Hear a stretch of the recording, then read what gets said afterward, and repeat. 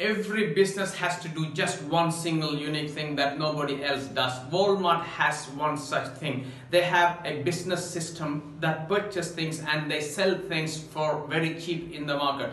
FedEx says we are overnight delivery. Pizza says we deliver within 30 minutes. In our university, we say our lecturers are available for you 24-7. Doesn't matter what time it is to discuss your assignment and the studies.